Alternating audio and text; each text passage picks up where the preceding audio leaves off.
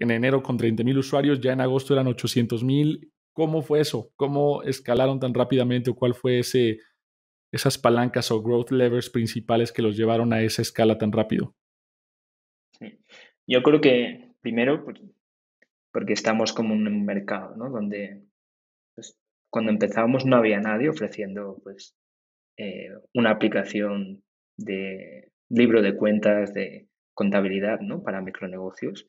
Entonces la oportunidad pues estaba ahí y simplemente pues era algo nuevo, ¿no? Para, para nuestro segmento. Y luego eh, pudimos crecer muchísimo también haciendo pruebas, ¿no? Eh, al final, pues el marketing digital es de hacer pues, mucho A-B testing, probar miles de creativos, probar diferentes segmentos y, y también pues bueno, saber pues en qué tienes que invertir más. Al final, pues en las, pautas, en las campañas que te dan más retorno, pues eh, debes invertir más y puedes probar al final más creativos, ¿no? Más creativos parecidos. Y eso es como hemos venido creciendo. O sea, llegaron a los 800 mil con puro paid ads, puro marketing, marketing digital o hubo alguna especie de programa de referidos, product-led growth dentro de la plataforma o algo similar? O, sí, aquí, o sea, nuestro crecimiento, pues al principio era puro marketing digital, ¿no? Pues no había nadie en la plataforma. Y lo que fuimos viendo es cada vez que íbamos creciendo, eh, el, el, crecimiento orgánico y también iba aumentando considerablemente. Entonces, en los últimos meses, ¿no? que al final pues captábamos bastantes más usuarios con marketing digital, el crecimiento orgánico también crecía muchísimo más. Eh, y ahí pues lo que veíamos es, teníamos un programa de referrals eh, pues, bastante básico, pero que funcionaba, donde el usuario, pues después de que se activara la aplicación y fuera pues, un usuario recurrente, recomendaba a otros negocios, normalmente pues amigos, ¿no? Que, eh, que tienen negocios.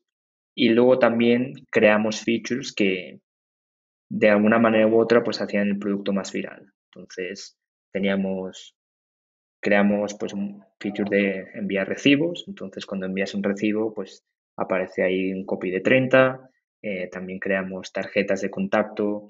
Entonces cuando comparten la tarjeta de contacto con un cliente pues muchas veces ese cliente también tiene un negocio. ¿Es un negocio o, es, o tiene un negocio como, como side business, ¿no? Entonces, e intentamos crear esas features que al final pues permitían hacer crecer nuestra base de usuarios de manera orgánica. Ahora, yo sé que ustedes quieren convertirse en esa super app en temas financieros para los micronegocios. ¿Cómo se ve eso en cuestión de producto y en roadmap? ¿Cómo prioriza ciertas features?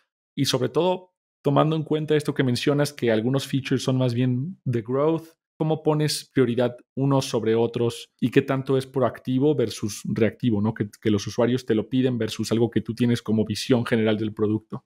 Yo creo que los usuarios a veces pues no te van a pedir productos diferentes, ¿no? Los que ya tienes. Yo creo que ahí es más, tienes que explorar tú, ¿no? Qué otras necesidades pueden tener. Sí te van a pedir más features de un mismo producto, ¿no? Pues para producto de bookkeeping, pues te van a pedir más cosas, ¿no? Y que esto funcione de una manera u otra, pero nunca te van a pedir, ayúdame a crear una tienda virtual o ayúdame a recibir pagos digitalmente.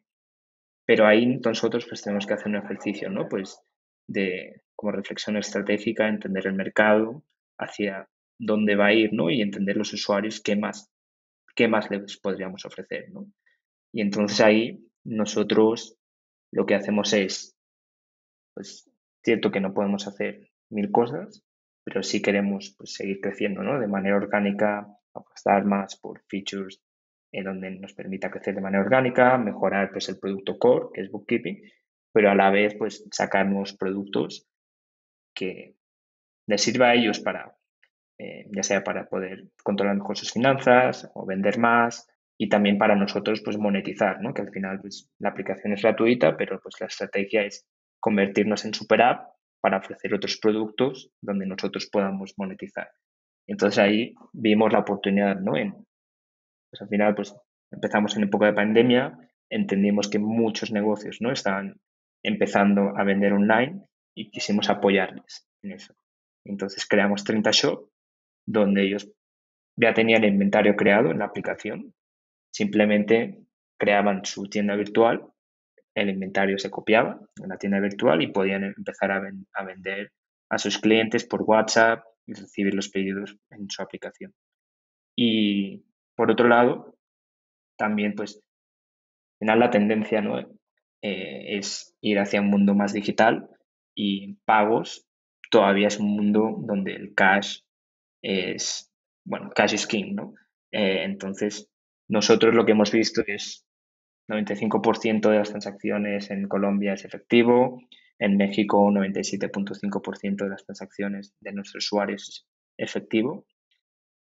Y ahí entendimos que, bueno, las principales razones es que ellos pues todavía no tienen medios de pagos digitales no porque no quieran, eh, sino porque el mercado pues, no es competitivo, no llegan a ellos y queríamos pues, ofrecer algo. Entonces estamos pensando qué productos de pagos podemos lanzar ¿no? para que ellos empiecen a cobrar de manera digital. Entonces es una de las apuestas que, que estamos preparando ahora, ¿no? lanzar un producto de pagos que permita a ellos cobrar con tarjeta, transferencia bancaria, etc.